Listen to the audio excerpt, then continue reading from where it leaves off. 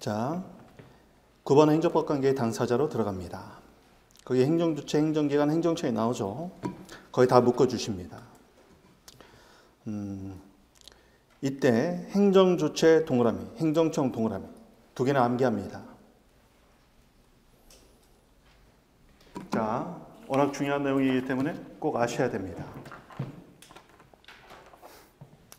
네, 보세요. 물론 기본 강의 들어가면 교과서에서 자세히 또 배울 내용이긴 합니다만 지금 어느 정도 음, 틀을 잡아놓는 게 좋겠습니다. 행정주체 연상 단어를 꼭 적어놓고 연상 단어로 암기합니다. 행정주체의 연상 단어는요 법주체입니다. 행정주체 연상 단어 법주체 정확하게 알아둡니다. 쓰는 데 집중하지 마시고 이제 내용 이해하는 데 집중하세요. 지금부터는 웬만하면 안 지우고 옆으로 쭉 가겠습니다. 법주체인데 이 법주체란 말은 이 법은요 법률 관계를 줄여놓은 말입니다. 따라서 법주체란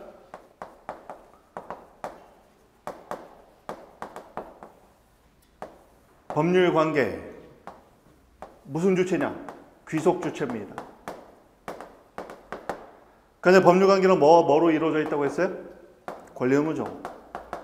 따라서 행정 주체란 법 주체로서 법률 관계 귀속 주체 다른 말로 권리 의무의 귀속 주체가 되는 겁니다. 이해해 주셔야 돼요. 두 번째. 밑에 행정기관은 별로 중요하지는 않습니다. 행정기관은 개인일 수도 있고 공무원 개인일 수도 있고 집단일 수도 있습니다. 행정기관은요. 옆에다가 연상 단어 별로 중요하지 않아서 연상 단어도 필요 없는데 그냥 조직이라고 쓰세요. 조직. 행정 주체는 일정한 조직을 갖고 있으니 그 조직들을 행정기관이라고 부릅니다. 이 조직의 구성 단위예요.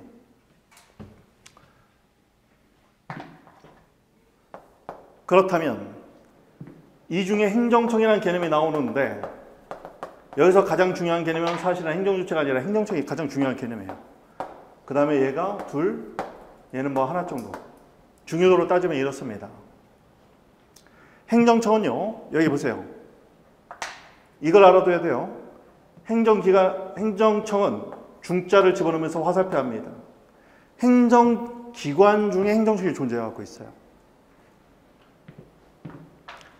쉽게 말하면요. 여기 보세요, 여러분. 이해하는 게 중요합니다.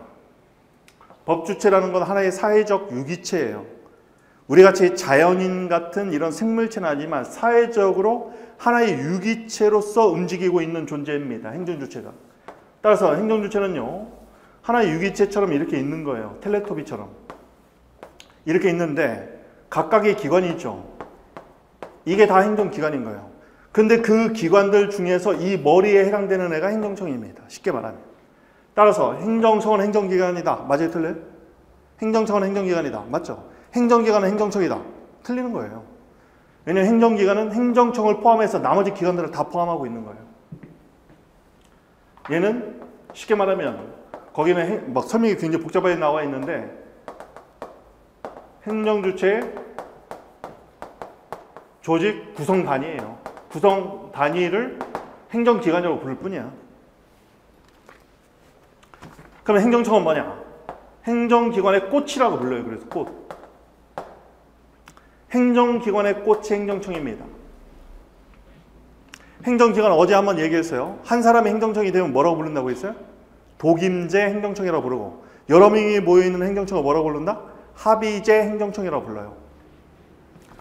그러면 행정청의 개념 정의는 보세요. 이건 암기하세요. 다번에 쓸 일이 많이 있으니까. 암기할 부분은 빨간색으로 합니다. 행정청이란 내부, 내부적 결정, 외부의 표시. 한번 따라해 봅니다. 내부적 결정, 외부적 표시. 다시 한번 해보세요. 내부적 결정, 외부적 표시. 따라할 때는요, 자기 머릿속에서 계속 굴리면서 따라하는 거예요. 어, 크게 안 해도 좋으니까 자꾸 이렇게 발음을 하세요. 왜냐면 빨리 습득해야 되는 것들은 이렇게 사람이 손만 쓰지 말고 눈으로만 읽지 말고 발성기관을 움직이는 것이 기억이 오래 간답니다. 자, 이게 1차 현상잖아요. 누군가 물어봅니다. 행정청이 뭐예요?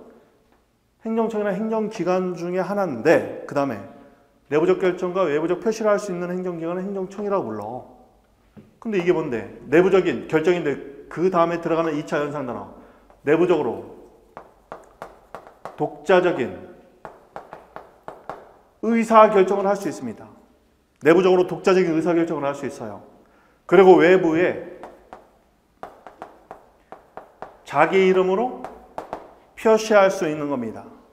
근데 여기서 이 자기 이름이라는 게 정말 중요해요. 왜냐면 이 자기 이름은요, 내가 그러한 결정을 표시할 수 있는 권한이 있다는 걸 보여주는 동시에 우리 스파이더맨의 그 돌아가신 할아버지가 스파이더맨한테 남긴 말이 뭐예요? 어, 힘에는 그 권한, 그 책임이 따른다고 하죠. 권한에 따른 책임. 항상 권한은 책임과 같이 맞물려 있어요. 그래서 자기 이름을 건다 하면 내가 거기에 대해서 끝까지 책임을 지겠다는 의미를 갖는 거예요. 그래서 여러분이 사회에 나갔을 때는요, 아무 데나 사인하면 돼요, 안 돼요? 큰일 난다고 하는 말이 뭐냐면 책임지겠다는 표시야. 법적에서, 법에서는 그 이름을 거은 자가 책임을 지는 거예요. 이름 명자를 써서 나중에 보면 명의자라고 불러요. 이런 단어도 알아두세요. 명의자. 누구 명의로 되어 있는데 이런 말 쓰죠. 자, 다시 한번 봅니다. 행정청이란 행정기관 중에 하나인데, 자, 따라와세요. 지금 쓰는 게 중요한 게 아니죠. 행정청이란 행정기관 중에 하나인데, 내부적 결정과 외부적 표시를 할 수 있는 행정기관이야. 다시 한번. 행정청이란 행정기관 중에 하나로서 내부적 결정과 외부적 표시를 할 수 있는 행정기관이야. 말을 좀 늘립니다. 행정청이란 행정기관 중 하나로서 내부적인 독자적 의사결정을 할 수 있고 외부에 자기 이름으로 표시할 수 있는 기관이다. 됐습니까? 여러분이 나중에 공직에 들어가면요. 뭔가 비사실이 적발돼 가지고 징계위원회에 들어가면 징계위원회, 위원회니까 합의제 행정기관인데 징계위원회는요. 징계를 내부적으로 독자적으로 결정합니다. 그런데 징계위원회가 징계 처분을 자기 이름으로 못해. 그러면 행정청이 될수 있어요, 없어요? 그러니까 그냥 합의제 행정기관에 불과한 거야. 이때 대외적인 처분은 임용권자가 할 수 있어요. 자, 기억하십니다. 이때 중요한 거. 이렇게 행정청이 내부적 결정을 하고 외부적 표시로 나온 것이 바로 행정 처분인 겁니다. 행정행위, 다른 말로 행정 처분인 거예요.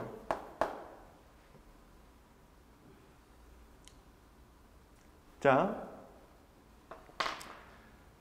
이때 우리 이러한 처분을 다투는 소송의 앞에서 뭐라고 했었더라? 전 시간에 권력관계, 처분, 행정행위, 강제집행 무슨 소송을 한다? 항고소송이라고 했죠? 기억 안 나도 좋아요. 근데 나중에는 나야 돼. 그리고 법률관계 기속 주체라고 했는데 공법상 법률관계 여기 법률관계란만 나오죠. 이런 공법상 법률관계 대표적인 게 공법상 계약인데 이러한 공법상 법률관계 대표적인 계약 왜냐하면 계약은 권리으로 이루어져 있거든요. 이러한 공법상 법률관계를 다투는 소송을 뭐라고 부른다? 공법상 당사자 소송이 되는 거죠. 제가 줄여 썼습니다. 원래는 공법상 당사자 소송이라고 불러요. 자 여기 보세요. 공법상 당사자 소송은 공법상 법률관계를 다투는 소송입니다. 즉 공법상 당사자 소송의 대상은 공법상 법률관계예요. 그러면 항고소송의 대상은 행정행위 즉 처분입니다. 자 지금부터 중요해요. 논리맥락 들어갑니다. 논리맥락 들어간다고 딱 하면 펜 딱 멈추고 들어야 돼요. 귀를 쫑긋 세우고 공법상 당사자 소송의 대상은 공법상 법률관계죠. 그런 공법상 법률관계 기속 주체는 법 주체로서 누가 된다? 행정 주체가 된다. 따라서 당사자 소송에 소송을 받는 피고의 적법한 자격을 갖는 자는 행정 주체가 되는 겁니다. 결국 우리가 행정주체, 행정기관, 행정청을 배우는 이유는 이 피고적격이라는 부분에서 소송법하고 논리맥락이 연결되는 거예요. 그렇다면 그 다음 봅니다. 항고 소송의 소의 대상은 뭐다? 처분이다. 쟁송법에는 처분이라고 되어 있고 학문적으로는 행정행위인 거예요. 다시 한번. 항고소송의 대상은 그러면 처분이라고 정확히 쓰세요. 원래 행정행위라고 써도 되긴 하지만. 항고소송의 대상은 처분입니다. 이 처분은 누가 해요? 행정청이 하죠. 그럼 행정청은 누가 되는 거예요? 항고소송의 피고 적격을 갖는 거예요. 피고가 될 수 있는 적법한 자격입니다. 여기서 이 고는 뭐냐면 고소를 피 받을 피자예요. 고소를 받는 자예요. 고소를 원하는 자는 원고가 되는 거예요. 원고가 될 수 있는 적법한 자격을 원고, 적법한 자격. 그래서 원고적격이라고 하는 거예요. 자, 풀었습니다. 원고적격이란 고소를 원하는 자로서의 적법한 자격을 갖는 자. 피고는 그 고소를 받을 피자예요. 고소를 받, 받아서 소송을 수행할 수 있는 적법한 자격을 갖는 자. 이때 당사자 소송의 피고 적격은 행정주체다. 항고 소송의 피고 적격은 행정청이다. 이건 단편적인 지식이고 왜 그러냐고 논리 맥락을 물어보면 공법상 당사자 소송의 소외 대상은 공법상 법률 관계이고 따라서 공법상 법률 관계의 주체인 법주체인 행정주체가 그 법률관계의 기속 주체니까 그 법률관계의 기속 주체가 끝까지 책임을 져야 된다. 그게 바로 피고가 된다. 이런 말입니다. 이게 논리 맥락이에요. 그래서 앞으로 공부를 할 때요. 다시 한번 말씀드립니다. 아까하고 똑같네요. 공법관계, 사법관계 배웠던 것과 마찬가지로 공법관계, 사법관계는 소송 요건 중에 재판 관할과 관련해서 논의 실익이 있었어요. 여기는 행정주체, 행정기관, 행정청을 배우는 이유는 결국 소송의 피고 적격에서 논의의 실익을 갖게 되는 겁니다. 이게 바로 논리 맥락이에요.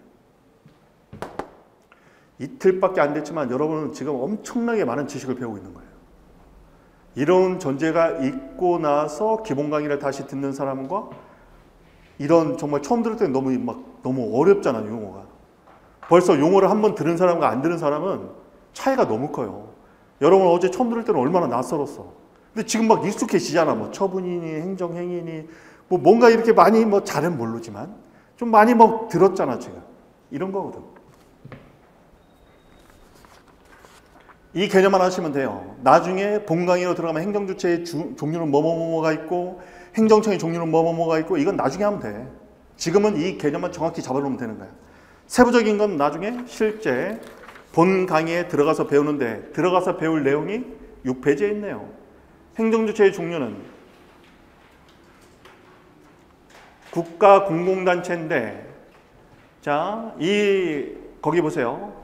반가로 1번 국가 있죠. 반가로 1번 지방자치단체, 반가로 3번 협의회 공공단체가 있죠. 지방자치단체 밑에다 적어놓습니다. 얘를 광의의 공공단체라고 불러요. 광의의 공공단체 이꼴. 이건 꼭 알아둬야 돼요.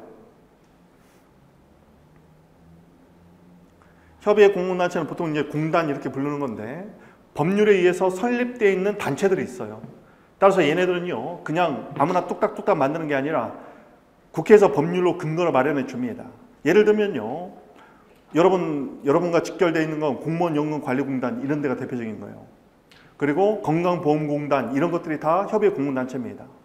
나중에 배우면 돼요. 행정객체는 대부분은 국민이겠죠. 대부분은 국민이겠지만 행정주체가 행정객체가 될 수도 있어요. 왜요? 여러분 앞에 보세요. 지방자치단체도요. 자기들이 전기 썼으면 전기로 내야 될 거 아니야. 그럴 때는 행정객체의 지위를 가질 수 있는 거예요. 처분이 나오려고 오는 거죠. 돈 내라고. 그렇지만 대부분은 국민일 겁니다. 자, 10번 행정법의 구조가 나오네요. 행정조직법, 작용법, 구제법, 조직, 작용, 구제 각각 동그라미. 조직협회는 행정주체의 내부 조직에 관한 법을 말한다. 내부 조직의 동그라미 칩니다. 행정작용. 작용 위에다 적어놓습니다. 대외. 대적 작용이라고 기억해야 돼요. 대외적 작용. 대외에는 누가 있다? 국민이 있다. 따라서 국민 동그라미. 국민의 대외적 활동을 규율하는 법이다. 대외 동그라미. 작용이라는 말이 나오면 대외적이라는 말을 붙여서 읽으세요. 그리고 행정청 밖에 대적 구속력에서는 국민과 법원이 있다고 했죠. 일단은 국민인 겁니다. 따라서 행정작용법은 대외적으로 국민의 법률관계를 규율하고 있는 법입니다. 행정구제법 구제법은 행정청에 가해진 권익침해에 대한 구제를 규율하는 법을 말한다. 자, 여기 봅니다. 학문은요. 학문은 공통된 특성을 갖고 있는 것들을 그 특징에 맞게 분류하는 것을 좋아해요. 어제도 했죠. 행정행위라는 것이 학문적으로 정립되어 있는데 실제로요. 조문에 보면 행정행위라는 단어는 안 나와요. 수천 수만 개의 처분이 아까 봤던 일방적 우월적 고건적인 행정작용의 특성을 갖고 있으면 행정행위 내지는 처분으로 정의가 되는 거야. 그러면 국내 5천여 개가 행정법이라고 했죠. 너무 많잖아. 5천 개를 다 적을 수 없잖아요. 그러니까 분류하는 거야. 어떻게 분류하냐? 그 중에 행정 조직에 관해서 규정하고 있으면 행정 조직법이라고 부르자. 그리고 대적으로 행정작용이 이루어질 때 대적으로 행정작용 앞에 보세요. 대적으로 행정작용이라는 말은 대외적이라는 말은 항상 국민법원인데 행정청이 상권분립에 서 사법부를 통제할 수는 없잖아. 그러니까 대부분 국민이라고 봐야 돼. 그렇게 행정작용이 대외적으로 국민에게 행사될 때 이렇게 이렇게 해야 돼. 이렇게 대적인 국민에게 행사되는 행정작용을 규율하는 법을 행정작용법이라고 불러요. 그런데 이런 행정작용으로 말미암아 국민의 권익이 침해됐을 때 그 권익을 구제해 주는 걸 행정구제법이라고 불러요. 결국 5천여 개의 법은 이 세 개의 카테고리 안에 다 들어가는 거야. 근데 주의할 거. 어떤 법이 하나 있다고 했을 때 그 법이 무조건 조직법만 규정하고 있고 작용법만 규정하고 있고 구제법만 규정하고 있고 그런 건 아니에요. 물론 구제법만 규정하고 있는 법은 있어. 그렇지만 예를 들면 감사원법이 있어요. 그러면 우리나라의 법은 다 1조는 목적이에요. 2조는 다 정의야. 나중에 기회가 되면 선생님이 그 아, 지금은 듣지 마세요. 그 변호사 시험 5일, 5일 강의했던 데에서는 이런 내용도 했는데 우리 이제 기본 강의 들어가면 예비 때는 어, 주변 지식을 많이 전달하겠습니다. 예를 들면 우리가 왜 대륙법계가 됐는지, 어, 우리가 왜 성문법 국가가 된 건지, 왜 미국, 영미 같은 불문법 국가가 왜 아닌지 이제 그런 걸 다 배울 텐데 왜 그 얘기를 하냐면 우리는 대륙법계에 속하고 성문법 국가인데 사실 독일법을 개수했거든요. 이제 법을 전달받는 걸 개수라고 불러 법률적으로. 근데 대륙법계의 특징이 뭐냐면 일단은요 개념법학이야. 개념법학이 된 이유가 있어. 여러분은 세계사 배우신 분들 있어요? 세계사 같은 거 배우면요 로마가 로마가 결국 게르만 용병 로마 위수 지역을 담당하고 있던 게르만 민족에 의해서 무너져 버리잖아요. 게르만 민족이 로마를 무너뜨리고 나서 로마 법을 흡수합니다. 그런데 로마의 그 당시의 법은 어떤 식으로 만들어져 있냐면 로마 대법전 이런 거 들어봤죠. 세계사 공부할 때. 근데 로마 대법전은 처음부터 만든 게 아니라 그 당시에 법조인들이 있었어요. 로마가 세계를 경영하고 있을 때. 이런 법조인들이 case by case로 어떤 사건이 벌어지면 그 사건에 대해서 판결을 내리면서 하나의 이론을 만듭니다. 그래서 각각의 케이스들이 집적이 되면서 하나의 이론이 만들어져요. 이 case by case의 이론을 집대성한 게 로마 대법전이에요. 그런데 이 로마 대법전을 그 당시에 그 로마 그쪽 언어로는 이걸 Pandekten이라고 불러요. Pandekten. 그래서 우리 법은 Pandekten 시스템을 취하고 있다라고 얘기하는데 이게 뭐냐면 사실은 어, 이게 case by case라는 의미예요. 다이제스트 이런 의미야, 다이제스트. 그러면서 로마 대법전이 갖추어지면서 case by case로 법조인들이 했던 여러 가지 케이스를 근간으로 해서 일정한 개념을 정립시킵니다. 그 개념을 토대로 일정한 법률이 만들어졌는데 문제는 뭐냐? 이 로마를 무너뜨리고 게르만 용명들이 로마를 무너뜨리고 나서 로마의 문화를 흡수해버립니다. 그러면서 기존에 있었던 게르만 민족의 법에 로마 법을 합해버렸어요. 근데 처음에는요, 자기 로 자기 게르만 민족의 고유한 법을 근간으로 삼아서 로마 법을 흡수하려고 했는데 세계를 경영하고 있던 로마 법이 너무 우수한 거야. 그래서 결국은 흡수한 게 아니라 흡수 당해버려요. 그래서 그 당시에 로마 법을 연구하는 그 게르만 법을 연구하는 사람들을 게르마니스텐, 로마 법을 연구하는 사람들을 로마니스텐이라고 부르는데 그 애초에 게르마니스텐들이 다 로마니스텐으로 다 변해버려요. 그러면서 로마법을 흡수하는 정도가 아니라 거의 로마법 체계를 그냥 다 받아들여. 그러다 보니까 독일이 법을 만들 때 로마법이 그대로 거의 대부분 다 들어온 거야. 그러다 보니까 로마법의 특징이었던 판덱된 시스템으로서 이 개념이 그대로 다 들어와 버렸어요. 그래서 이 독일법이 개념법학이 된 거야. 이 개념법학이 독일이 일본을 2차 대전 당시 같은 군국주의 국가였던 일본의 이 법이 개수되고 일본이 우리나라를 합방시키면서 법이 들어오죠. 근데 일본 법을 개수했다고 할 수는 없잖아 우리가. 그러니까 우리는 로마 법을 개수했다고 얘기해. 사실은 일본으로 돌아 들어온 거예요 지금. 그러다 보니까 우리는 로마법 체계를 그 독일법 체계를 받아들였는데 이 독일법이 로마법의 판택된 시스템 자체를 갖고 있다 보니까 우리도 개념법학이 돼 있는 거예요. 이런 개념법학의 특징은 뭐냐면 일조 목적을 목적을 쓰고 나서 정의에다 개념을 다 집어넣는 거예요. 그래서 모든 법이 다 이렇게 됐어요. 하물며 여러분이 만약에 동문회 뭐 그 침묵 무슨 도, 뭐 같은 거 하잖아요. 개 같은 거 하잖아. 그럼 자기들끼리 이런 거 만들어. 그럼 다 이렇게 만들어. 다 일조 목적. 우리는 초등학생들의 침묵을 목적으로 한다. 2조. 어, 경조사에서 조사는 뭐 직계 혈족만을 의미한다. 이렇게 어디서 다 보고 따라해. 그래서 모든 게 다 이렇게 돼 있어. 1조 목적, 2조 정의야. 항상 다 이렇게 돼 있어. 모든 법이. 어떤 법을 열어도 다 이렇게 돼 있어. 이런 것도 알아두셔야 되고.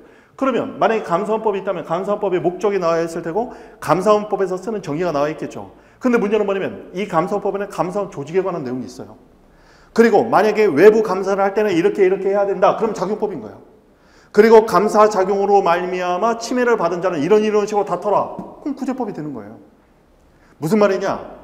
학문적으로 나눠놨을 뿐이지 무슨 법은 여기에만 해당되고 무슨 법은 여기에만 해당되고 꼭 그런 건 아니라는 거예요.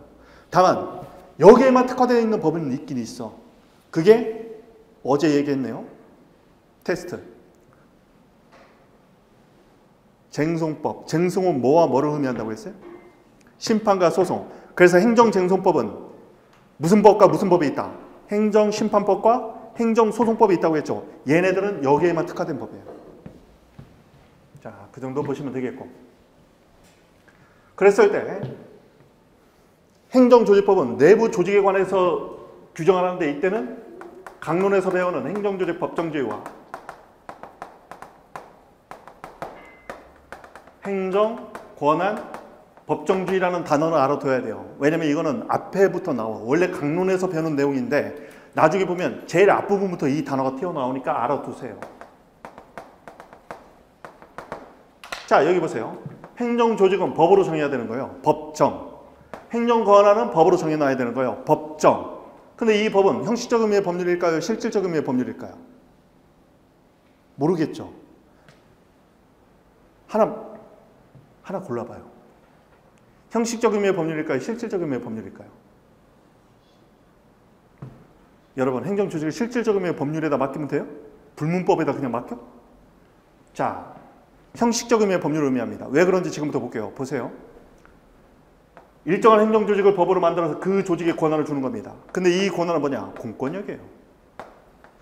공권력은 양날검을 갖고 있어요. 공익을 위해서 쓸 수도 있지만 이게 남용되면 오히려 국민을 해할 수 있습니다. 국민의 기본권을 침해할 수 있어요. 공권력은 어디로부터 나와요? 모든 공권력은 국민의 모두 아, 모든 공권력 어디서부터 나와요?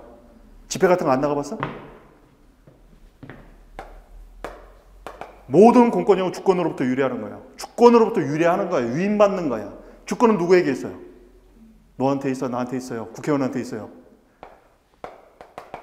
모든 주권은 국민에게 있는 거죠. 그런데 국민이 다 같이 모여서 법을 만들 수 없으니까 대표자를 정했으니 그 대표가 뭐다? 국회죠. 국회에서 만드는 법률이 뭐다? 형식적인 법률이 되는 거예요. 이게 논리 맥락입니다. 국회의원을 뭐라고 불러요? 대의자라고 하죠. 대신 의사를 전달해 주는 제도예요. 그래서 대의제는 국회의원들을 대의 기관이라고 불러죠. 여기서 대의가 뭔데? 의사를 대신 전달하는 거예요. 누구세요? 이게 바로 국민의사를 얘기하는 거예요. 대의제 기관이라는 건 대의, 의사를 대신하는데 누구세요? 국민의 의사를 대신해 주는 거예요. 쉽게 말하면. 한자로 정확히 따지면 조금 다른 게 있긴 하지만 이렇게 이해하면 되는 거야. 얼마나 간단해. 대의기관이나 국민의 의사를 대신 표출해 주는 그런 대표자들인 거야. 쉽게 말하면. 따라서 보세요. 일정한 조직을 만들고 그 조직에 공권력이나 무시무시한 권한을 주는데 이거는 이 권한은 모두 다 공권력인 거예요. 재판을 하던 법을 만들던 행정을 하던 모든 국가의 작용은 다 공권력이야. 공권력은 주권으로부터 유리합니다. 주권은 누가에게 있다? 국민에게 있어요. 따라서 국민의 대표인 국회에서 법률로 정해줄 때만 그런 조직이 그런 권한을 갖게 되는 겁니다. 그래서 이 법은 어쩔 수 없이 형식적 의미의 법률일 수밖에 없는 거야. 왜? 국민의대표인 국회에서 만들어야 되니까. 단어 알아두세요. 왜냐면 이 단어 앞에서부터 튀어나와. 자, 따라서 국회에서 법률로 일정한 조직을 정하고 그 조직에 권한을 주면 그 권한을 이제 비로소 행사할 수 있는 거야. 그러면 작용법으로 넘어가는 거죠. 아까 작용에 뭐라고 얘기했어요? 작용. 작용자가 나오면 무슨 단어 붙이라고 했어요? 연상 단어. 대외적 작용이죠. 즉 이런 권한을 줬는데 이 권한을 대적으로 행사할 때 작용이라는 건 대적 행사를 의미해요. 그럴 때 지켜야 될 내용들을 규정하고 있는 법인 거야. 그런데 대외에는 누가 있다고 했어요? 국민. 따라서 행정작용법은 행정기관이 법에서 정해준 그 권한을 누구에게? 국민에게 대외적으로 행사해서 작용할 때 그 작용을 규율하고 있는 법을 행정작용법이라고 부르는 거예요. 따라서 조직법적 근거도 있어야 되고 작용법적 근거도 있어야 대외적 행정작용, 특히 처분이 나올 수 있는 거예요. 다시 한번. 조직법적 근거와 작용법적 근거가 있을 때만 적법한 행정작용으로서 처분이 나올 수 있다. 기억하십니다. 이때 조직법적 근거와 작용법적 근거로 이루어지는 대적 처분이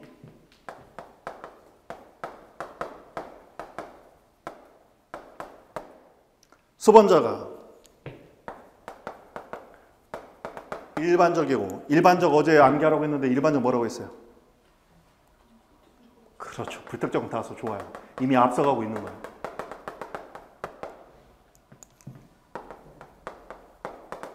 여기에 쓰려고 어제 암기하라고 한 거예요. 여기 쓰려고. 답안지 쓸 일이 있으니까. 추상적으로 뭐라고 했어요? 미래 반복이라고 했죠. 이렇게 이런 작용법이 작용법의 근거에서 이루어지는 행정작용이 불특정 다수를 미래 반복적으로 규율하는 형태로 나올 때도 있고 이 작용법에 따라서 또는 개별적 구체적으로 규율하는 경우가 있으니 개별적은 뭐라고 했습니까? 특정 소수 그렇죠. 구체적이라는 건 현재 그렇죠. 시간과 공간이 특정됐다고 했죠.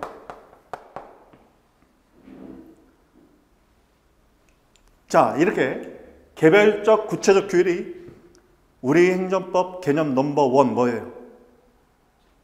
행정 행위 아 여기가 아니구나. 여기가 베어발통스 악트 바로 행정행위입니다.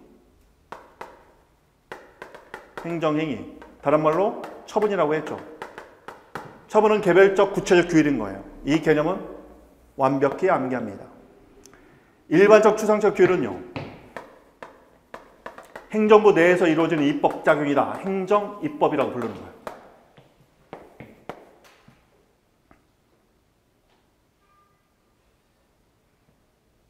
자, 행정입법은요.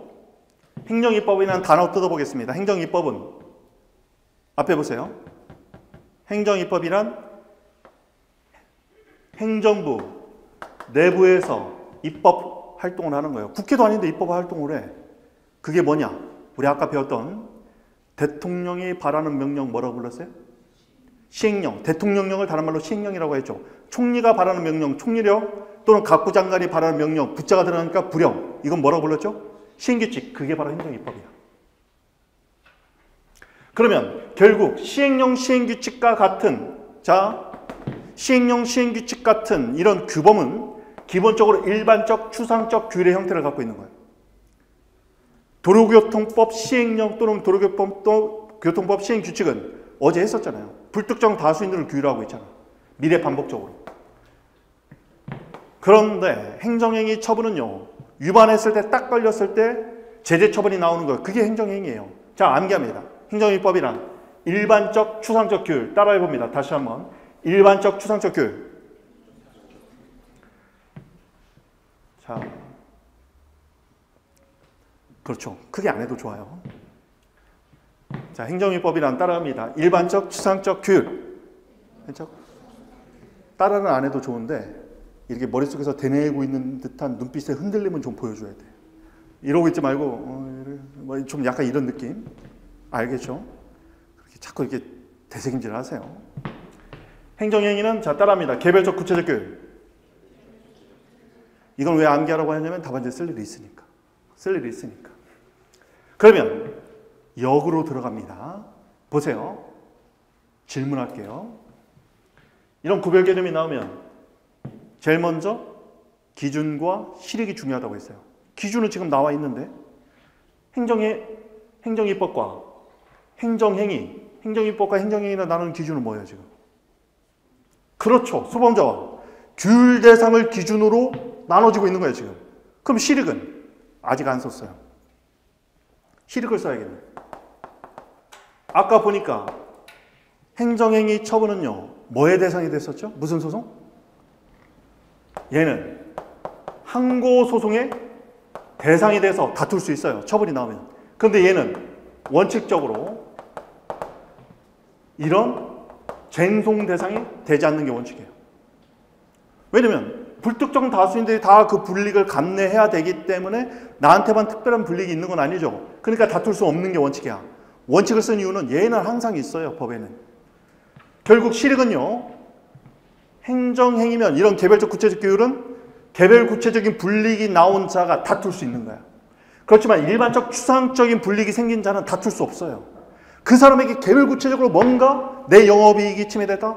왜냐면 영업정지 처분이 나면 당장 영업 못 하잖아요. 아니면 제가 운, 전을 하는데 운전면허 정지 처분이 나왔으면 운전할 수 있는 법적 지위 자체가 막혀버리잖아. 이럴 땐 다툴 수 있어. 그런데 비보 좌회전을 못하게 하겠다? 나만 못하는 게 아니라 운전하는 모든 사람이 못하는 거죠. 그럼 나는 다툴 수 없는 거예요. 자신의 개별 구체적인 이익이 침해돼야지만 소송을 제기할 수 있는 거예요. 이게 실익이다. 그런데 여기에서 조금 벗어나서 논란이 있었지만 처벌성을 인정하는 게 하나 있으니 이런 애가 하나 있어. 일반적 구체적 교육. 아 이거 처분으로 볼까 말까? 논란이 많았는데 많은 학자들은 이것을 뭘로 봐서 일반 처분이라는 개념으로 포섭해서 처분이니까 쟁송 대상으로 인정하자 이렇게 정의가 돼 있습니다. 그럼 일반 처분은 뭐냐? 그러면 수범자는 불특정 다수인데 규율 자체가 구체적 규율이어서 처분성이 인정된다 이렇게 보면 되는 겁니다.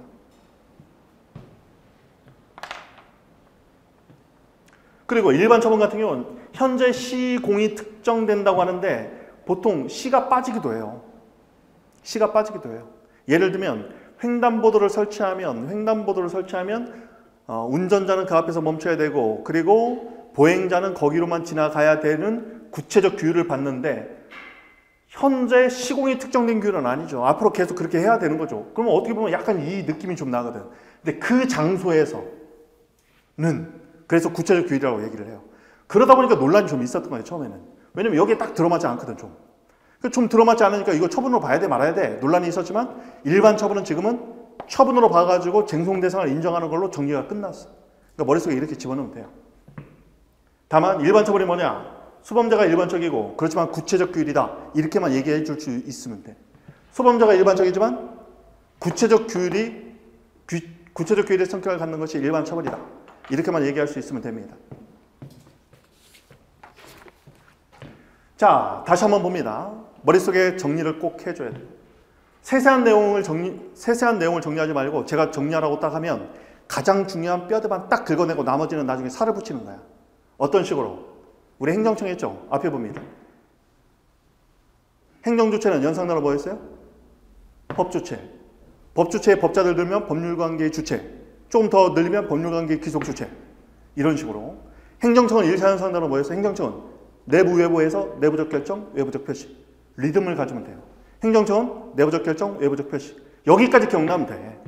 나머지 2차, 3차 연상 단어는 공부를 하다 보면 자연스럽게 말 튀어나오게 돼 있어요. 지금은 아직 안 되겠지만 나중에는 내부적 결정에서 내부적인 독자적 의사결정이 가능하고 외부에 누구 이름으로 자기 이름으로 표시할 수 있는 행정기관을 행정청이라 한다. 이렇게 하면 되는 거예요. 적어도 1차 연상 단어가 떠올라야 돼. 뭐냐면 행정청은 행정기관 중에 하나다? 내부적 결정과 외부적 표시를 할 수 있다? 여기까지만 기억나면 돼요. 다음. 조직법, 작용법, 구제법이 있는데 조직법에서는 행정 조직법정주의, 행정 권한법정주의가 여기서 나온다. 이런 조직법적 근거와 작용법적 근거로 이루어지는 대적 행정작용은 수범자와 규율 대상을 기준으로 일반적 추상적 규율이면 뭐고 행정입법이고 개별적 구체적 규율이면 행정행위다. 실익은 쟁송이 되냐 안 되냐에 있는데 행정행위는 원칙적으로 되고 행정입법은 원칙적으로 안 된다. 여기까지만 기억하면 되는데 왜안 되는지 제가 설명드렸지만 이 내용은 나중에 교과서에 좀 더 자세히 풀어져 있고 그때 다시 한번 공부하면 되는 거예요. 어디서 한번 들어봤던 것 같다 이러면 두 번째 들을 때는 흡수가 빨라져. 처음 들을 때는 10%가 안 된다고 했죠. 두 번째 들을 때는 이게 30%로 막 뛴단 말이에요. 자, 다음. 안 지울 테니까. 이렇게 조직법적 근거와 작용법적 근거로 이루어지는 행정장용으로 말미암아 특히 얘기했죠. 얘만 쟁송 대상이 된다고 했습니까? 국민의 권리 의무가 위법하게 침해됐을 때 그때 비로소 구제법으로 넘어갑니다.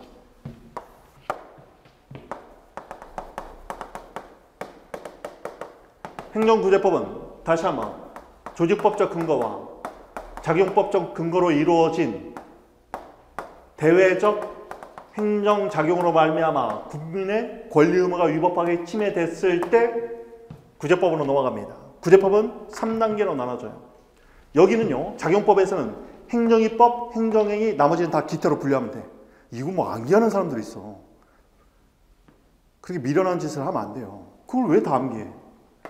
나머지 기타는 차차 그냥 배우는 건데 여기서는 이런 쓸데없는 암기 같은 걸 하면 안 돼. 어차피 기억도 안 나니까. 분류체계만 기억하면 되는 거예요. 분류체계.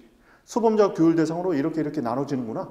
그리고 마지막 결론 행정입법은 일반적 추상적 규율이다. 행정행위는 개별적 구체적 규율이다. 끝.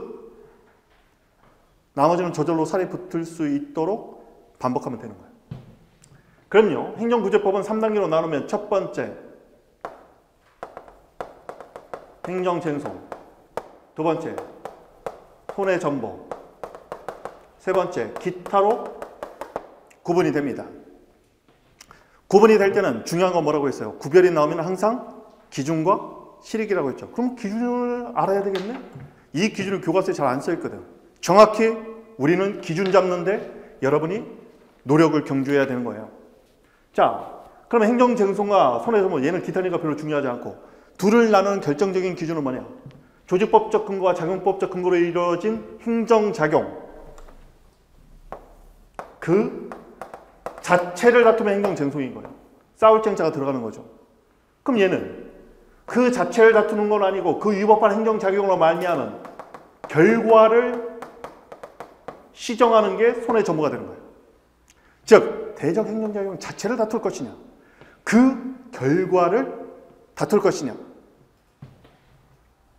그래서 행정쟁송과 손해의 전부로 나눠집니다. 쟁송은 두 가지 있다고 이미 얘기했네요. 첫 번째는 뭐였어요? 그렇죠. 행정심판, 행정소송. 이 둘로 나눠집니다. 그럼 양자의 차이를 좀 알아야 되겠네요. 차이가 굉장히 많아요. 그런데 우리가 꼭 알아야 될 차이 정도만 알면 됩니다. 심판이나 소송을 중간하는 주체가 누구냐? 첫 번째 행정 심판은요. 이건 암기해야 하세요. 워낙 많이 쓰는 단어니까. 행정 심판 위원회입니다. 이 행정 심판 위원회는 행정 기관이면서 합의제 행정청이에요. 행정청은 이렇게 쓰기로 했죠. 따라서 행정 심판 위원회는 내부적으로 독자적 의사 결정을 해서 대외적으로 자기 이름으로 표시합니다. 그렇게 해서 나온 것을 심판에서는 재결이라고 불러요. 이 심판의 결과를 재결이라고 부릅니다. 얘는 결과예요, 결과. 그러면 행정소송은요, 소송자가 들어가면 무조건 법원에서 하는 거예요. 법원에서 나오는 것을 우리가 판결이라고 보여주죠. 그런데 판결하고 유사한 것이 있는데 하나가 또 뭐가 있냐면 결정이 있어요. 이거 알아두세요. 이거 나중에 질문하는 사람 꼭 나올 거야. 판결은요, 판결 주문이라고 해서 나중에 우리가 판결서 양식도 선생님이 보여줄 건데 쉽게 말하면 이 판결은요 변론을 통해서 변론이라는 게 뭐냐면 원고와 피고가 서로 싸우는 거야. 원고가 무슨 주장하면 피고가 반론을 제기하고 막 왔다 갔다 싸우다가 법관이 어 결론 났어. 그래서 결론을 내면 그게 판결이에요. 그럼 결정은 뭐냐? 결정은 그런 양자가 싸우는 싸우는 걸 변론이라고 해요. 변론. 변론해 보세요. 이렇게 얘기하죠. 변론을 거치지 않고 여기는 보통 서류 심사로 이루어져. 근데 굉장히 많이 나와. 우리 나중에 보면 뭐 집행정지 결정 이런 게 나올 거야. 법원이 하는 일정한 판단 중에서 변론을 거치면 판결, 변론을 거치지 않으면 결정이라고 부릅니다. 양자는 서류 심사로 이루어지면 대부분 결정이에요. 자, 주체도 다르고 판단 결과로 나오는 것도 여기는 재결, 여기는 판결. 판결이 더 중요하죠. 결정은 그냥 가로 정도 치면 되겠고. 또는 심판 내용도 달라. 어떻게 다르냐면 법원에서는 무조건 위법, 적법밖에 판단을 못합니다. 위법, 적법밖에 판단을 못해요. 그런데 우리가 행정위 하자는 위법도 있었는데 또 뭐가 있었죠? 하자는 위법 밑에 어제 했잖아. 위법 하자는 하자흠은 위에 위법 그 밑에 부당이 있었죠. 좋습니다. 여기는 위법뿐만 아니라 부당도 심리할 수 있어요. 왜 그런지 말씀드립니다. 여기는요, 부당을 심리할 수 없어요. 왜냐하면 부당이나 한목적성 결여 또는 재량권 행사를 그르친 건데 만약에 법원이 부당까지 심리를 해버리면요, 행정부는 법원에 완전히 종속돼 버려요. 왜냐하면 재량권 행사가 목적이 조금 벗어나서 그러면 야 이거 다 취소. 만약에 법원이요 한목적성 목적이 조금 벗어난 행정작용까지도 다 없애버릴 수 있어 버리면 우리는 사법국가로 변해버려요. 법원이요 행정부 위에 서버려요.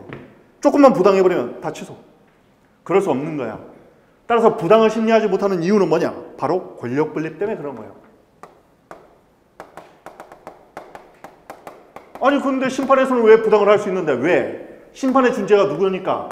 같은 행정부 내에 있는 행정기관이니까. 권력 분립에 반하지 않는 거예요. 권력 분립에 반하지 않으니까 부당까지 심리해 줄 수 있도록 해준 거야. 내부적으로 내부적으로 치정할 수 있는 기회를 준 거예요. 결국 심판에서는 부당을 심리할 수 있고 소송에서는 부당을 심리할 수 있는 없는 이유는 뭐냐? 판단으로 정의하면 권력 분립이다. 왜 권력 분립이 문제가 되는데 주체가 다르기 때문에 그래요. 따라서 권력 분립에 따라서 집행부의 판단을 사법부에서 위법까지는 통제할 수 있겠으나 위법에 이르지도 못한 부당까지도 다 취소해야 할 수 있으면 그러면 여러분 이 자리에 없을 거야 아마. 사법부가 부당까지도 통제할 수 있게 돼버리면 공무원은요 사법부의 종이 돼버려요. 노예가 돼버려요. 왜냐면 마음에 안 들면 부당이라는 건 이건요 진짜 이거 엿가락 같은 거 아니야. 이연령 비연령이야. 음, 우리가 보니까 이게 목적 조금 벗어난 것 같은데 취소. 부당까지 법원에서 통제할 수 있게 돼버리면요. 이거는 그냥 사법국가야. 행정부는 존재 의의가 없어져 버려요. 따라서 부당은 법원에서는 절대 할 수 없는 거예요. 권력분립에 반해버려요. 부당까지 판단할 수 있으면. 그런데 여기를 할 수 있는 이유는 뭐냐면 같은 행정부 내에서 처분도 이루어져 있고 그 처분을 행정심판하는 기관도 같은 행정부 내에 있기 때문에요. 권력분립에 반하지 않는 거죠. 손해 전부는요. 손해 전부는 뭐와 뭐가 있냐면 국가배상. 국가배상 다른 말로 이제 손해배상이라고 불러요. 손해배상을 국가나 지자체가 하는 게 이제 국가배상인데 그냥 국가배상으로 기억하세요. 국가배상과 어, 손실보상이라고 불러요. 나중에 국가배상법 파트가 있고 손실보상 파트가 있어요. 손해배상 중에서 국가배상법이 정, 적용되는 손해배상을 이제 우리가 국가배상이라고 불러요. 손해배상이란 말은 사실 몰라도 상관없어요. 그럼 양자를 나눈 기준은 알아야 되겠네. 기준은 뭐냐? 대적 행정작용이 위법한 행정작용으로 말미암아 손해가 발생했을 때 그 손해의 결과를 없애주는 게 국가배상, 배상이라고 부르는 거예요. 그러면 보상은 이건 적법이에요, 적법. 적법한 공용작용으로 말미암아 특별한 희생이 발생한 자에게 그것을 그 결과를 없애주는 것이 보상이에요. 그럼 보상의 대표적인 건 뭐예요? 쉽게 말하면요. 도로 깔기 위해서 수용하잖아. 도로를 깔아야 돼서 그 사람의 어떤 토지를 수용할 때는 도로 까는 건 적법하잖아요. 그러면 도로가 깔리는 이유는 공익을 위해서 깔리는데 개인이 희생당했죠. 그랬을 때 그 특별한 희생을 조직, 이 공동체 전체의 공익을 위해서 개인이 희생했기 때문에 공동체는 그 개인의 손해를 전보해 줘야 된다. 그걸 우리가 보상이라고 불러요. 그래서 보상법이 많이 규정되어 있죠. 지금 신림육동에 지금 재개발하고 있어요. 재개발하면 나중에 이제 보상금 가지고 싸우게 되는 거예요. 보상금. 위법하면 배상. 위법하면 배상. 국가 배상. 근데 민법에서는 국가 배상이 적용되지 않는 데서는 이제 손해배상이라고 불러요. 위법하면 배상, 적법하면 보상. 이렇게 갑니다. 나머지 기타는요. 기타를 암기할 필요 없는 거예요. 이런 분류 기준만 아세요. 나중에 보면 헌법소원이 있어요. 헌법재판소에서는 헌법소원. 그리고 공법상 결과제거 청구라는 게 있어요. 별로 중요하지 않아. 왜냐면 여기는, 헌법에서 배우는 거거든. 행정법 학자들하고 헌법 학자들하고 강사들은 친한데 교수님들끼리는 안 친해요. 왜냐면 서로 영역이 겹치다 보니까 서로 밥그릇 싸움 하는 거지. 그래서요, 헌법 교수하고 행정법 교수가 견해가 막 갈리는 데가 있어. 그럴 때 헌법 교수 견해를 취해야 돼요? 행정법 교수 견해를 취해야 돼요? 당연히 행정법이지. 헌법 견해로 갔다가 그냥 과락이야, 그냥. 헌법 교수가 지지하는 학설을 우리는 취하면 안 돼. 우리 행정법 하는 거니까. 그래서 나중에 여러분이 1차에 그 헌법 공부할 때 보면은 행정법과 헌법하고 완전 견해를 달리하는 것들이 있어요. 그래서 제가 그런 거 할 때 우리 헌법 교수님들 뭐 김유한 선생님이나 선동대 선생님한테 얘기하죠. 아, 형, 형들 어차피 2차가 중요하잖아. 아, 1차는 60점만 넣으면 되잖아. 그러니까 이게 서로 상충하는 것은 헌법적 관점으로 가리키지 마. 괜히 행정법 할 때 착각이 빠져가지고 헌법 스타일로 막 써버리면 물론 헌법과 행정법을 같이 가리키는 교수가 있으면 상관이 없는데 따로따로 있으면 헌법적 관점에서 딱 써버리면 그냥 점수 긁어버려요. 그러니까 행정법적으로 기억해야 돼. 우리는 개념만 알면 돼. 헌법 소문은요. 광의의 여기다 위치시키면 얘가 광의의 행정쟁송이 되는 거야. 이 용어만 알아두면 돼요. 광의 행정쟁송이 뭐냐? 헌법 소원이다. 헌법 소원이라는 개념을 알아두세요. 답안지 자세히는 안 쓰지만 그래도 용어 자체는 알아야 돼. 공법상 결, 결과제거 청구는 손해 정보에 위치시키기도 해요. 왜냐면 결과를 제거하는 거니까 결과를 시작하는 손해 정보하고 유사하죠. 근데 기타에다 분류한 이유는 뭐냐면 이게 이론상으로는 인정이 되는데 재판 실무에서 아직 인정을 하고 있지 않아요. 그래서 아직 제대로 활용이 안 되고 있어요. 그렇지만 개념적으로 교과서에 다 나오니까 알아는 둬야 됩니다. 넘어가고. 자, 지금 여기서 한 거 있죠? 이 분류 체계는 완전히 머릿속에 집어넣으세요. 조직법, 작용법, 구제법. 자, 앞에 봅니다. 뼈대만 다시 한번 할 테니까 저하고 할 때 보면 기억 안 나는 부분이 있어. 그러면 그거를 곧바로 체크하려고 하지 말고 왜냐면 선생님 계속 흐름을 잡으니까 어차피 흐름은요 다섯 번, 열 번씩 해. 그러니까 지금 기억 안 나더라도 선생님과 따라오면 어 이걸 까우뚱 어 이거 그때 그때 어 까우뚱 그러고 나서 자 다음 나갑시다 그러면 딱 보고 거기다 형광펜 같은 거 탁탁 칠하는 거예요 그냥 아 이 부분이 기억 잘 안 나는구나 다음에 좀 자세히 봐야겠네 이게 바로 선택과 집중이에요 자 그리고 막 사진 찍어도 좋고 편할 대로 하세요 편할 대로 자, 저랑 뼈대 잡습니다. 5천여 개의 법을 세 개로 나눈다. 조직법, 작용법, 구제법. 조직법에서는 조직법정주의, 권한법정주의. 앞에 내용을 떠도 돼. 기억만 하면 되니까. 행정조직법정주의, 행정, 권한법정주의. 조직, 권한. 두 가지 써서요. 이때 법은 형식적 의미의 법률이다, 당연히. 작용법은요. 이 작용법에 따라서 이루어진 행정작용을 세 개로 나눴어요. 첫 번째, 행정행위, 행정입법, 행정행위, 나머지는 다 기타야. 이때 행정입법과 행정행위를 나누는 기준 두 가지. 첫 번째, 수범자, 규율 대상. 이때 행정입법을 정의하면 행정입법은 일반적, 추상적, 규율 이걸 답안지에 써야 돼.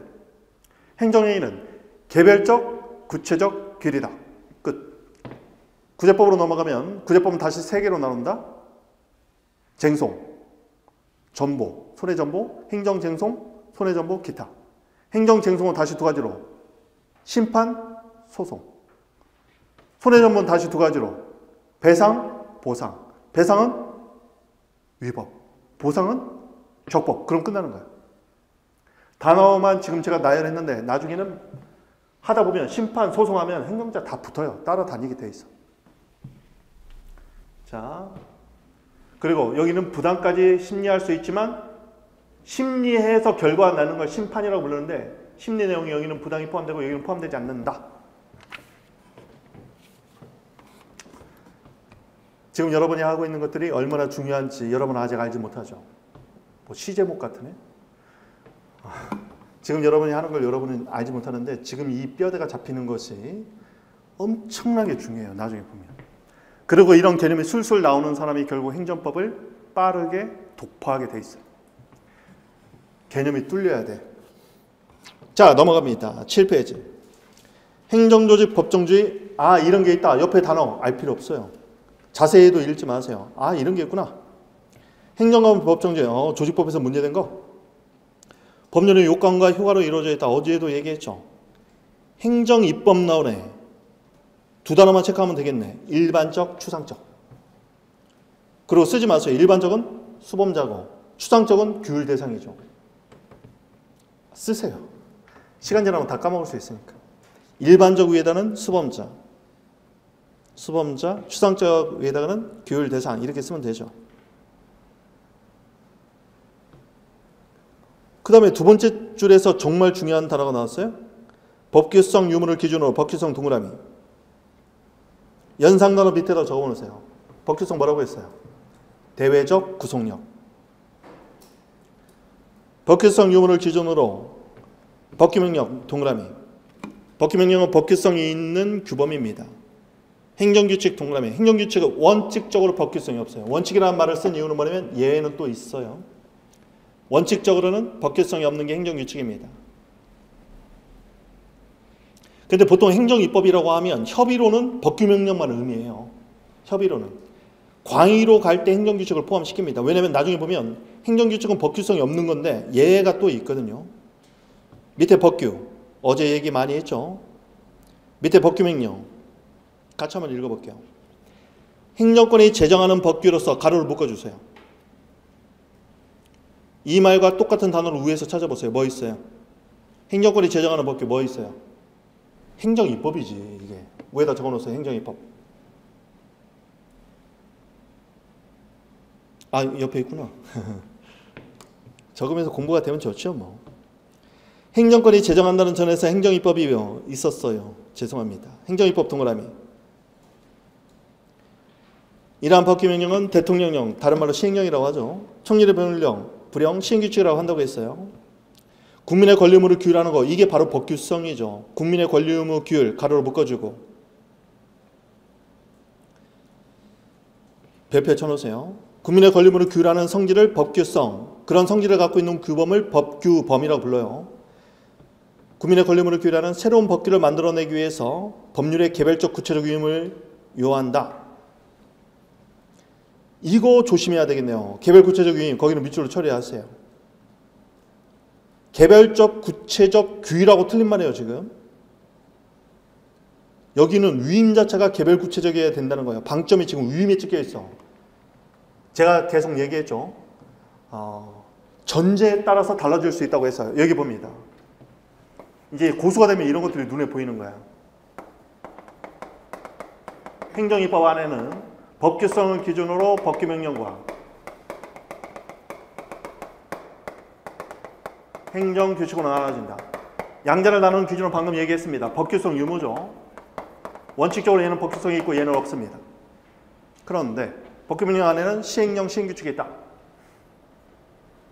그런데 자세히 보세요. 사실 이건 고수들이나 사실 이런 게 고수가 되는 길이야. 행정입법은 규율의 성격으로 봤을 때는 뭐였어요? 수범자가 일반적, 구체적, 규율이죠. 방점은 규율입니다. 수범자와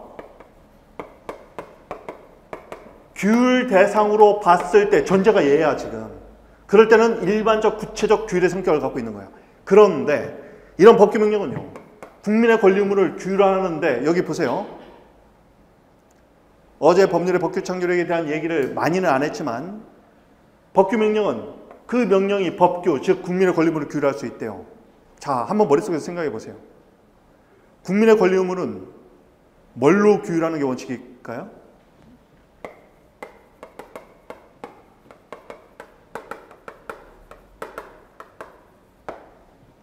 국민의 권리 의무 규율은 자, 국민의 권리 의무 규율은 어떤 규범의 형식을 취하는 게 원칙일까요?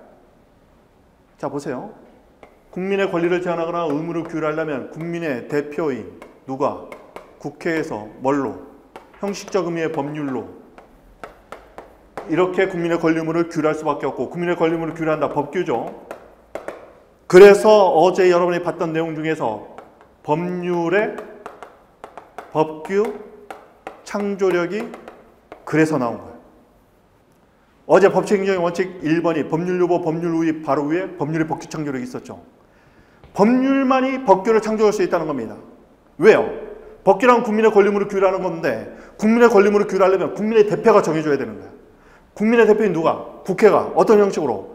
형식적 의미의 법률로만 이렇게 법규를 창조할 수 있는 거예요.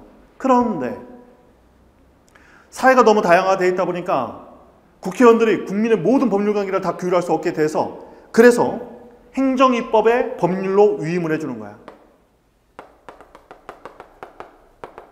법규를 창조할 수 있는 권한을 주는 거예요. 즉 법규 명령 위임을 해주는 거예요. 정확하게는. 원칙이라고 쓴 이유는 뭐냐면 행정규칙에 위임하는 형식이 또 있어. 나중에 예외를 배우긴 하겠지만 결국은요. 법률의 법규 창조력에 의해서 국민의 논리를 잘 따라오세요. 지금 약간 뭔가 호흡이 흐트러졌어. 좀 어려울 수 있으니까. 국민의 권리물을 규율하는 법규는 국민의 대표인 국회에서 법률로만 정할 수 있는 게 원칙이에요. 그렇지만 국민의 권리물을 규율하는 수천 수만 가지의 법률 관계를 국회에서 다 일일이 정할 수는 없었어요. 그래서 집행하라는 행정부에게 위임을 해주는 거예요. 네가 이 범위 내에서 한번 세분화시켜 봐. 그래서 위임을 해주는 거예요. 누구에게? 대통령령, 총리령, 부령에게 법률을 위임을 해줘. 위임을 해주는데 너네 아무렇게나 다 만들어봐. 이래버리면 법률의 법규 창조력, 즉 삼권 분립이 깨져버려요. 삼권 분립에 의하면 결국 입법 작용은 국회에서 중심적으로 해야 되는 것이거든요. 따라서 법률이 국민의 권리 의무를 규율하는 그런 무시무시한 법규의 권한을 위임해 줄 때는 반드시 국민의 권리 의무를 규율하는 그 규율의 대상 범위를 개별적이고 구체적으로 유의미해 줘야 되는 거예요. 여기는 방점이 유의미고 여기는 방점이 규율인 거예요. 따라서 법규명령은 규율의 성격으로 봤을 때는 일반적 추상적 규율인데 유임은 당연히 개별적 구체적 유임이어야 돼요. 자 여러분 역사 얘기 한번 해줄게요. 자 히틀러가요. 독일에서 히틀러 총통에 부임을 합니다. 총통에 부임했다 하면 행정부를 장악한 거예요. 그런데 히틀러의 나치당이 국회를 장악합니다. 입법부죠. 이렇게 행정부와 입법부를 동시에 장악해 버렸어요. 2차 대전 이전에 형식적 법치주의, 법치주의 국가에서 이렇게 권력이 융합되면서 나타난 현상 중에 하나가 뭐냐면 입법부를 장악한 나치당에서 법을 만들 때요. 이렇게 위임을 해줄 때 어떻게 위임을 했냐면 포괄 위임을 해줬어요. 이 포괄 위임을 그 당시에 얼마나 엉터리로 했는지 골격입법이라고 부르기도 해요. 골격입법은 뭐냐면 정말 골격만 정해주고 던져줘 버려요. 그러면 그 내용을요. 자유롭게 행정부가 규율 채울 수 있었어. 그러다 보니까 실질적으로 행정부가요. 입법기관과 집행기관의 역할을 동시에 다 해버리는 거예요.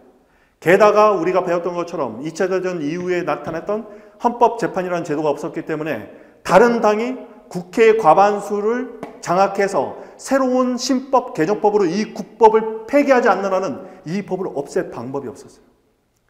그러고 나서 그러다 보니까 여기서는 라드부르크에 따르면 어제 제가 얘기했던 유대한 법철학자 라드부르크에 의하면 그 사람이 이런 표현을 썼어요. 법에 의한 불법이 자행되던 시대다. 즉, 일단은 형식적인 입법 절차를 거쳐서 법이 만들어졌는데, 왜? 다수결로 했으니까. 그래서 다수결의 만능이 아니란 말도 여기서 나온 거야. 다수결로 통과됐는데 그 통과에 게르만 민족의 우수성을 알리고 유대인들을 합법적으로 학살할 수 있는 근거를 여기다 집어넣어 버렸어. 그리고 위대한 게르만 민족의 혈통을 유지하기 위해서 어떤 식으로 했는지 아세요? 거기에 보면 인종 청소도 할 수 있으면서 우리나라에도 유사한 판례가 나왔는데 여러분 소록도 아시죠? 나병 환자들. 앞으로도 올라요 나병 환자. 나병 환자 관련해서 한센병이라고 하죠. 지금은 나병이라고 이제 안 불러 너무 부정적인 의미가 많아서 한센병 환자에 관해서 국가배상을 인정해 준 판례가 나왔어요 작년에. 그게 뭐였냐면요. 이게 원래 완전 유전되는 건 아닌데 단종시키는 거예요. 단종시켜버리는 거예요. 이세를 못 갖게. 약, 화학약품 이렇게 처리하고 뭐 이런 식으로 해가지고 자식을 낳을 수 있는 기회를 박탈시킨 거야. 본인들로 모르는 사이에 막 무슨 약품 이런 걸로 임신 안 되게. 그게 밝혀져가지고요. 국가배상 인정해서 이거는 반인륜적인 범죄라는 거야. 그런데 그 당시에 그거는 우리나라에서는 이제 몰래 몰래 했겠지. 뭐 옛날 어묵했던 뭐 그런 군사정권 시대. 근데 얘네는요 그런 법을 만들어 버렸어. 법을 만들어 가지고 어떻게 했냐면 장애인들 또는 어, 좀 지능이 좀 떨어지는 분들, 광인들 이런 사람들을요 다 차에 실어가지고 어디든가 데려갔어. 그래가지고 처음에 연합군에 의해서 수복이 됐을 때 이 사람들의 거주 지역이 발견이 됐는데 연합군들이 너무 참혹해가지고 군인들을 어떻게 할 줄 몰라서 독일 주민들에게 도움을 요청합니다. 근데 독일 주민들이 처음에 안 믿어요. 설마 그렇게까지 했겠냐 우리 나치당이. 뭐 나쁜 일은 많이 했지만 설마 그렇게까지 했냐고 가보니까요. 어, 운막 같은데 사람들이 있는데 너무도 부실한 음식물과 복원에 의해서 뼈만 남아가지고 기록 필름을 한번 제가 본 적이 있는데 정말 뼈만 남아가지고 제대로 치료도 못 받아가지고 막, 막 피부병에 거의 무슨 막 무슨 해골같이 생긴 사람들이 운막에서 이렇게 걸어 나오는 장면 기록 필름이 있어요. 그, 그 기록 필름을 보면 독일 그 주민들이 와서 그걸 보고 막 울어요. 이렇게까지 했구나. 그걸 보면서 저는 속으로 정말 웃겼어요. 왜 웃겼냐면 독일 병사들이 타국에서 그렇게 했을 때는 울지 않았던 사람들이 같은 게르만 민족한테도 저랬구나를 알면서 울기 시작하는 거야. 거기는 죽이지는 않았죠. 유대인 수용소에서는요, 떠나기 전에 다 죽여버리잖아. 죽여버리고 떠나고 그랬어요. 어, 인생 하나도 영화 같은 데 보면 걔네들 죽여가지고 그 사람 몸에서 나온 그 기름으로 그 뭐 비누 만들고 막 이런 전쟁 물자 만들고 막 그랬다는 거 아닙니까? 실제로? 기록에 보면? 이게 바로 라드부르크가 여기서 너무 놀란 거야. 법적 안정성보다 정말 이 정도가 되면 법적 정의가 더 중요해져야 되겠다. 법에 의한 불법이 자양될 수 있었던 이유가 이렇게 행정부와 입법부가 결합해서 권력은 절대 권력은 절대로 부패한다는 그 명제를 실현했던 거예요. 그래서 이걸 자르기 위해서 형식적 법치주의가 실질적 법치주의로 넘어가면서 유언 심판 제청도 이루어지고 권력도 이렇게 삼자만 권력 균형을 이루는 것이 아니라 나중에 다자간으로 바뀌어버려요. 그래서 국회 내에서도 상원, 하원, 막 이런 식으로. 그래서 이런 입법부와 행정부의 결탁을 끊어내기 위해서 뭘 만들어졌냐면 실질적 법치주의로 넘어오면서 포괄유임 금지 원칙이라는 게 만들어진 거예요. 교과서에서 이제 많이 보게 될 거예요. 이 포괄유임 금지 원칙은 그런 어묵한 시대에 그러한 많은 아픔이 담겨 있는 거예요. 이렇게 포괄유임을 인정해줘 버리니까 인종 청소를 할 수 있는 이 법이 버젓이 국회를 통과하더라는 거예요. 그래서 포괄임은 되지 않는다. 포괄임은 금지된다. 그럼 어떻게 해야 되느냐? 항상 어떠한 부분에만 개별적이고 딱 여기까지만 구체적으로 위임을 해줘야 되는 거예요. 대략적인 대강의 내용은 법률로 이미 다 만들어 놓고 세부적인 딱 여기만 니네가 정해. 이렇게 해줘야 된다는 거예요. 이걸 어기면 그냥 위임을 해준 법률도 위헌이 돼버려요. 그냥. 위헌 심판에서는 그래서 위헌 판단을 받는 거야. 포괄 위임이 됐다고 봐서. 어, 입법자가 정해 놓을 때는 이 정도는 개별구체적인 거 아니야? 그런데 헌법재판소에서 이 정도는 개별구체적이지 않아. 그럼 그냥 위헌 판결이 나오는 거야. 이게 바로 포괄 위임 금지 원칙이다. 따라서 여기서 알아야 될 건 행정입법은요. 규율이라는 측면에서는 일반적 추상적 규율이에요. 그렇지만 상위 뭘로 법률로부터 법규성을 새로운 법규상을 규정할 수 있는 권한을 위임받을 때는 이 위임은 무조건 포괄 위임은 안 되고 개별적 구체적 위임이어야 된다. 공부가 안 돼 있는 사람은 여기서 갑자기 확 헷갈려 버려요. 아니 일반적 추상적 규율이라고 생각했는데 개별적 구체적 유임은 또 뭐예요? 개별적 구체적인 건 행정행위 아니에요? 아니죠. 유임이야 유임. 항상 이렇게 전제를 살피지 말아야 된다. 넘어갑니다. 법규명령 그렇고 행정규칙은 원칙적으로 법규성이 없는 거죠. 행정조직 내부에서 내부적 사무처리 기준 가로로 묶어줍니다. 위에다 암기. 행정규칙이란 내부적 사무처리 기준을 의미합니다. 기준처에 동그라미 치세요. 무슨 처분 기준을 정했다. 그럼 내부적 사무처리 기준이에요. 다시 한번. 무슨 처분의 기준을 정했다. 기준처가 나오면 웬만하면 내부적 사무처리 기준이야. 자, 이때 행정규칙은 이건 강학성 개념이에요. 법에는 행정규칙으로 써 있지 않아. 밑에를 한번 다 적어봅니다. 아까 적었었죠. 고시, 훈령, 예규, 지침. 실무에서는 그런 식으로 써요. 고시, 훈령, 예규, 지침. 뭐 통첩이라는 것도 있긴 한데. 그런데 앞에 보세요. 이런 행정규칙은 강화상 개념인데 강화상 개념으로서 행정규칙은 또 이렇게 분류가 됩니다. 여기 보세요.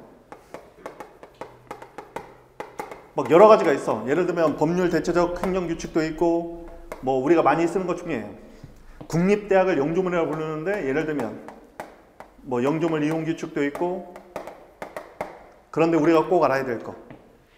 재량 준칙이라는 게 있어요. 이 개념은 무조건 암기합니다. 워낙 자주 나오니까. 무조건 암기. 재량 준칙의 개념을 얘기합니다. 재량 준칙이란 어제 기속행위하고 재량행위 어제 배웠어요. 재량 영역에서 키워드 재량 재량 영역에서 행정규칙인데 행정규칙의 개념적인 방금 봤죠. 내부적 사무처리 기준이다. 재량준칙이란 재량 영역에서의 내부적 사무처리 기준이다. 이거 암기하세요. 그리고 여기서 중요한 건 재량준칙은 행정규칙이라는 걸 아는 게 중요한 거예요.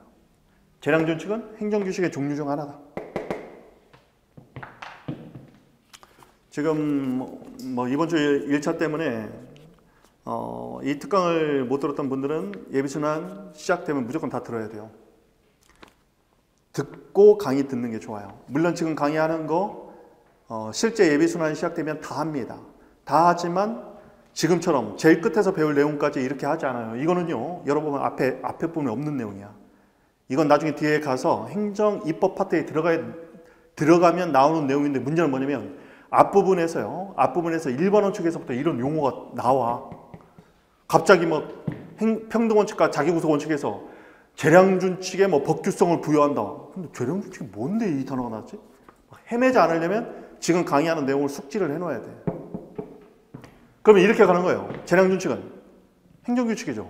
법규성이 있어요, 없어요? 재량 준칙 원칙적으로 없다 이걸 알면 되는 거예요. 재량 준칙 법규성 없어요. 왜 없는데? 행정 규칙이니까. 행정규칙은 없는 거야? 어, 없는 거야. 왜? 앞에 분류기준은 뭔데? 행정입법. 행정입법은 법규명령과 행정규칙으로 나눠진다. 기준은 뭔데? 법규성. 그럼 행정규칙은 법규성 없는 거. 법규성이 없는데 나중에 보면 일반 원칙과 결합하면 법규성이 생길 때가 있어. 그런 것들을 나중에 배우기 위해서 개념을 지금 익혀놓는 거예요. 자, 그렇다면, 그렇다면,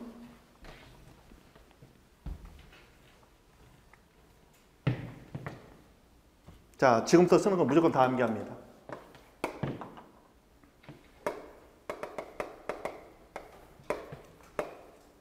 자, 앞에 보세요. 어제 내용을 법률에서 뭐라 부른다고 했어요? 실제. 좋습니다. 형식은 어, 만약에 법규명령이다. 행정규칙이다. 질문.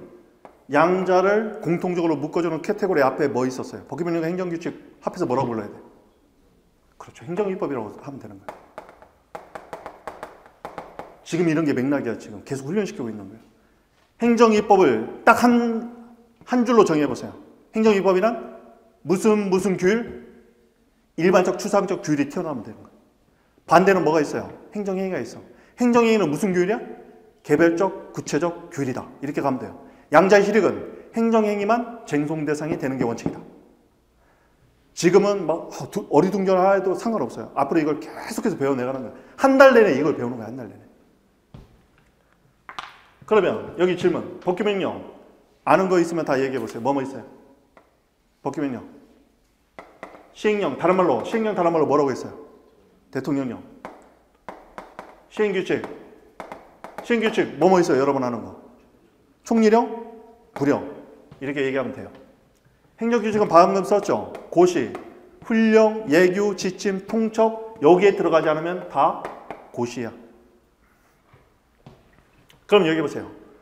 법규 명령은요. 그 내용이 원칙적으로 법규 사항을 규정하는 것이 원칙이에요. 그 내용이. 그럼 여기서 법규 사항은 뭐예요? 법규. 법률을 규율한다. 법률을 다른 말로 뭐라고 했죠? 법, 법률 관계를 다른 말로 뭐라고 했죠? 권리무조. 즉, 국민의 권리, 의무를 규율하는 게 원칙인 거예요, 이게. 이게 원칙이야. 그럼 행정규칙은 행정규칙의 내용 아까 뭐라고 했어요? 개념. 내부적 사무처리 기준을 정하는 게 원칙이에요. 키워드는 내부, 사무, 기준. 그런데 나중에 보면요. 이렇게 형식과 내용이 불일치하는 경우가 있고 이렇게 불일치하는 애들이 나와. 그 이유는 나중에 본강의에서 배우면 돼요. 그러면 얘를 뭐라고 부르는가? 보세요. 얘를 형식은 법규 명령이죠. 법규 명령, 형식의 행정규칙 이렇게 불러요. 그럼 무슨 단어가 숨어 있어요? 지금 여기에. 형식은 법규 명령인데 행정규칙은 내용이 행정규칙이라는 얘기야. 즉 형식은 법규 명령인데 내용이 행정규칙 다른 말로 내부적 사무처리 기준을 정하고 있는 거야. 다시 형식은 법규 명령인데 내용이 내부적 사무처리 기준을 정하는 때가 있어. 그걸 법규 명령 형식의 행정규칙이라고 불러요. 그럼 얘는 실제 아직도 이렇게 쓰는 분도 있어. 이 말을 뒤집어서 행정규칙, 형식의 법규명령 이렇게 쓰는 분도 있어요. 아직도 실제로. 그러면 이 말을 풀었으면 어떻게 된다? 형식은 행정규칙인데 얘는 뭐예요? 내용이 법규명령으로서 규정하는 법규사항을 규정하고 있다는 얘기죠. 근데 이 용어가 요즘에는 뭘로 통일이 됐냐면 법령 보충적 행정 규칙이라는 용어로 거의 통일이 됐어요. 줄여서 그냥 이렇게 써도 돼. 법령 보충 규칙 이렇게 써도 돼요. 법령 보충적 행정 규칙이라는 말을 뜯어보면 어떻게 되냐면 법령에 여기에 내용이 들어가. 내용을 보충하는 형식은 행정 규칙이라는 말이 숨어 있는 겁니다. 다시 한번. 법령에 내용을 보충하는 형식은 행정규칙. 따라서 이렇게 법규의 형식과 내용이 불일치하는 두 형태가 법규명령 형식의 행정규칙과 법령 보충적 행정규칙이 있다. 지금 여기까지 알면 돼요. 왜 이렇게 불일치가 생겼는지는 동강의에서 배우면 됩니다. 워낙 시험에 많이 나와요. 거기에 구체적 규범 통제, 추상적 규범 통제, 직접적, 간접적 통제 별로 알 필요 없어요. 그냥 규범 통제는 어, 이것만 알아두세요. 자, 아이고, 다 썼죠? 아, 깜짝 놀랐 자, 이미 한 번 설명 드린 건데 다시 합니다. 헌법 107조가 있는데 1차 현상 단어부터 알려줄게요. 헌법 107조 1항은 법률은 헌재